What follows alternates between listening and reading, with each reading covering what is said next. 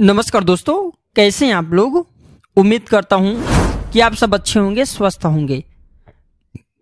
आज का जो हमारा वीडियो का विषय है, वनस्पति शास्त्र के बारे में, काफ़ी दिनों से पेड़ पौधे के बारे में जानकारी नहीं बताया हूँ। अलग अलग वृक्ष पर, जैसे कि मैं हर दिन वीडियो में बोलता हूँ अलग अलग वृक्ष पर अलग अलग प्रकार के देवी देवता वास करते हैं, निवास करते हैं। इसी क्रम में आज मैं आप लोगों को एक ऐसा पौधा के बारे में बताने जा रहा हूँ जो कि बहुत ही पवित्र पौधा है, बहुत ही कीमती पौधा है, बहुत ही खास पौधा है।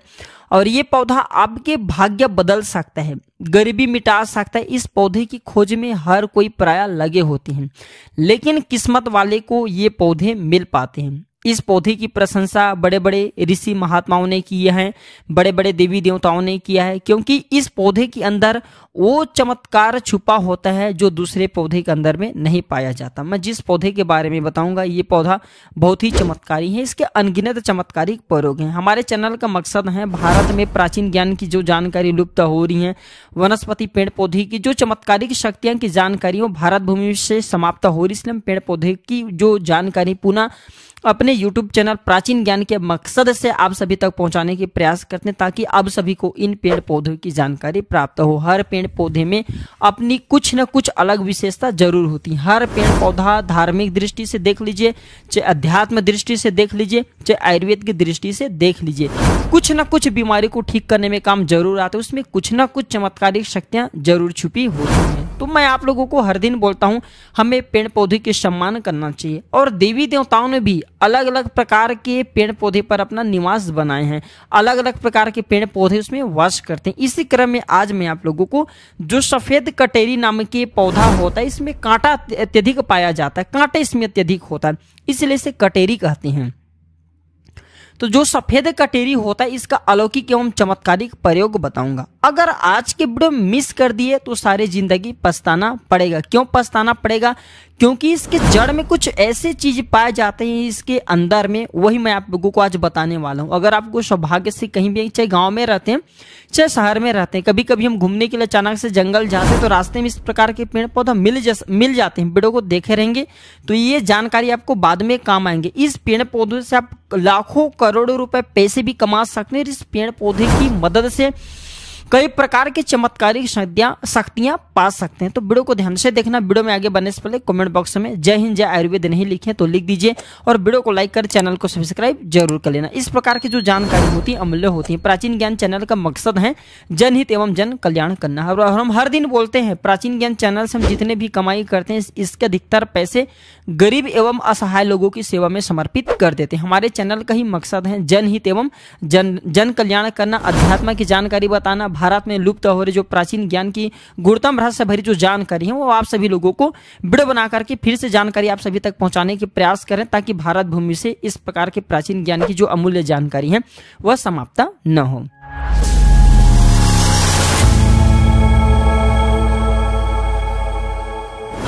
तो जो कटेरी नाम के, सफ़ेद कटेरी नाम के पौधा है, इसके चमत्कारिक फ़ायदा सुन लीजिए।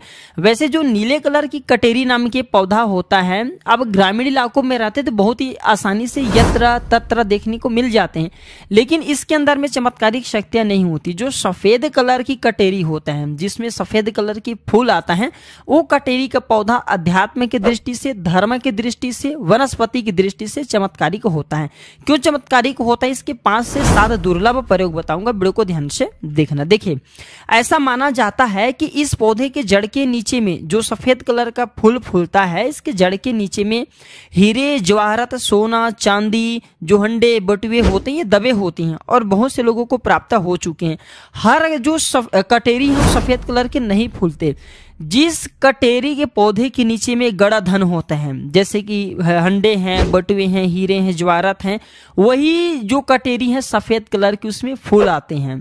उसी कटेरी में सफ़ेद कलर की पुष्पा लगते हैं। जहाँ पे सफ़ेद कटेरी की पुष्पा मिल जाए, जो पौधे में सफ़ेद, जो कटेरी हो, पौधे में सफ़ेद कलर की पुष्पा लगे, समझ जाइए। उसके नीचे में, ज़मीन में निश्चित रूप से गढ़ हुआ धन है। आप उनकी खुदाई ज़रूर करें, आपको ज़मीन में दबा हुआ धन ज़रूर प्राप्त होगा। लेकिन ये तीन कंडीशन में, शमशान में रहने वाले जो कटेरी का पौधा है, इसमें अधिकतर मिलते हैं। दूसरे हमने देखे, जो मंदिर के पास के पौधे हैं, सफ़ेद कलर की कटेरी, उसमें मिलते हैं। और जो जैसे कि मंदिर परिषद हो गए, शमशान हो गए, और जो जंगल की कटेरी होते इसके अंदर में भी जो सफ़ेद कलर की कटेरी फूलते हैं, इसके अंदर में भी ज़मीन में दबा हुआ धन पाया जाता है। तो ये थे धन प्राप्ति करने का पहला प्रयोग। चलिए मैं आप लोगों को इसका कुछ और चमत्कारिक प्रयोग बताता हूँ। अगर केवल इसके एक सफ़ेद पुष्प, ध्यान से सुनिए, अगर केवल इसके एक सफ़ेद पुष्पा माँ लक्ष्मी को शुक्रवार के दिन उनके बीज मंत्र पढ़ते हुए चढ़ा दें तो माँ लक्ष्मी तत्काल प्रसन्न होती हैं। और लक्ष्मी प्रसन्न होने के कारण समझ सकते हैं, जब लक्ष्मी आपसे प्रसन्न होते हैं तो आपके जीवन में दुख, तकलीफ़, गरीबी, निर्धनता, रोग, दोष, व्याधि, कर्जे, जीवन में चरी, परेशानी, तमाम तरह के समस्या जड़ से समाप्त हो जाते हैं। जो लोग लक्ष्मी को प्रसन्न करना चाहते हैं, ऐसे व्यक्ति अगर इनके पुष्प मिल जाते हैं तो इनके पुष्प का प्रयोग कर सकते हैं, चढ़ा सकते हैं माता लक्ष्मी को। और ऐसा भी माना जाता है, इसके जड़ में अमृत के एक बूंद पाया जाता है। इसलिए सोते समय इसके जड़ को सिरहाने में रखने से, ध्यान से सुने इसके जड़ को सिरहाने में रखने से बीमार पड़े व्यक्ति भी, जो खाट में पड़े व्यक्ति हैं, कुछ दिन तक अगर इनके जड़ को अगर तकिए के नीचे में रखते तो बीमार पड़े जो व्यक्ति खाट में पड़े हुए हैं, चलने फिरने में असमर्थ हैं, ऐसे व्यक्ति भी चलने, फिरने में, दौड़ने में समर्थवान हो जाते हैं। तंत्र बांधा अगर किसी ने आपके ऊपर कर दिए हैं, जिसके कारण आपको लंबे समय से बीमार हैं, बीमार पड़े, आपको समझ में नहीं आ रहे तो सारे तंत्र बाधा को खींच लेता है और आपको रोग मुक्ता कर देता है आपको तंत्र बाधा से मुक्ता कर देता है। ये ज़बरदस्त पावरफुल इनका चमत्कारिक प्रयोग है। कैसा भी ध्यान से सुने, इसके बारे में भी ये बताया जाता है कि अगर इसके जड़ लाल कपड़े में लपेट करके तकिए के नीचे दबा करके रखा जाए तो सपने में भूत भविष्य वर्तमान दिखते हैं। आप में से दिखता लोग बोलते हैं ना कि गुरुजी हमें भूत भविष्य वर्तमान स्वयं की देखना है। आप इसके लिए कोई उपाय बता दीजिए। तो अगर आप भूत भविष्य वर्तमान देखना चाहते हैं तो तकिए के नीचे लाल कलर के कपड़े में इसे बाँध करके तकिए के नीचे में रखे, लपेट करके रखे तो भूत भविष्य वर्तमान दिखते हैं। और एक खास बात ध्यान से सुनना। आप दूसरे की भी भविष्य देखना चाहते हैं तो इस जड़ को अपने हाथ में रखना, लाल कलर के कपड़े में बाँध करके, और कोई भी मंत्र, भूत, भविष्य, वर्तमान, दृश्य करने वाला मंत्र सिद्ध कर लीजिए। आपको यूट्यूब में या फिर गूगल में या फिर जो प्राचीन किताब उसमें बहुत सारे जानकारी मिल जाएँगे। जो मंत्र से भूत, भविष्य, वर्तमान दिखते वो मंत्र सिद्ध कर लेना, और इसके जड़ को रखना। केवल एक हज़ार आठ बार वो मंत्र पढ़ना सिद्ध हो जाएँगे इसके जड़ को रख करके। फिर जिनके भविष्य देखना, उनके नाम, उनके गोत्र का नाम लेना, ये भूत, भविष्य, वर्तमान दिखाने लगते हैं। इसके जड़ को घींच करके नित्य तिलक लगाने से मन शांत रहता है। कारोबार में उन्नति मिलता है। मन आपके हमेशा जैसे कि चिड़चिड़ेपन रहते हैं। बार बार छोटी छोटी बातों में गुस्सा आते हैं। तो छोटी छोटी बातों में गुस्सा आना बंद हो जाते हैं। मन हमेशा आपके शांत रहते हैं। मन आपके जो है हमेशा एकदम से शांत स्वभाव के रहने लगते हैं। मन में किसी भी प्रकार की गुस्सा नहीं आने देते। इसके जड़, बेल की जड़, महुआ की जड़, तीनों को घर में गाड़ देने से घर में तंत्र बाधा नहीं लगता। जो लोग तंत्र बाधा से बचना चाहते हैं, ज़रूरी नहीं कि सफ़ेद कलर की ही कटेरी लाइए। कोई भी कटेरी लाते हैं, उसमें भी यह काम करते हैं। तो कटेरी के जड़, बेल की जड़, महुआ की जड़, तीनों को घर में गाड़ देने से घर में तंत्र बाधा नहीं लगता। घर में स्थायी लक्ष्मी का वास होता है, तथा घर में कभी भी धन की कमी नहीं होती, ऐसे घर स्वर्ग के समान बन जाते हैं। और इस पौधे की एक खास दुर्लभ प्रयोग बता देता हूँ आयुर्वेद में।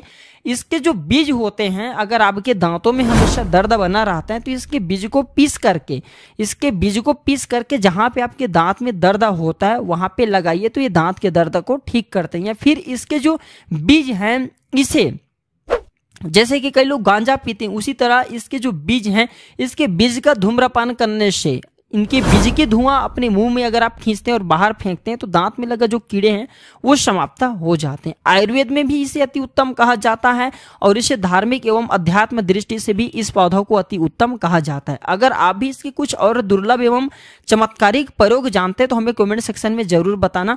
आपके द्वारा बताए गए जानकारी आने वाले नेक्स्ट वीडियो में साझा की जाएगी। बिल्कुल ही हमारे चैनल में आपके द्वारा बताए गए जानकारी को एक वीडियो बना करके जानकारी हम अपने चैनल के माध्यम से अपने इस वीडियो में साझा करेंगे। तो ये थे कटेरी की कुछ जानकारी। यह जानकारी कैसा लगे हमें कमेंट सेक्शन में ज़रूर बताना। और अगर आपको ये पौधे भविष्य में मिल जाते तो हमने जितने चमत्कारिक प्रयोग बताए हैं, ये सब चमत्कारिक प्रयोग आप खुद अपने आँखों से देख सकते हैं। ये बहुत ही दिव्य एवं अलौकिक चमत्कारिक पौधे हैं। तो ये थे छोटी सी जानकारी। वीडियो अच्छी लगी तो इसे लाइक कीजिए। और हाँ इस वीडियो को अपने तक सीमित मत रखना, इसे आगे ज़रूर शेयर करना। हो सकता है आपकी एक शेयर किसी के लिए अमृत जैसा हो जाए, वरदान तुल्य हो जाए। तो आज की जानकारी पर समाप्त करता हूँ दर्शकों।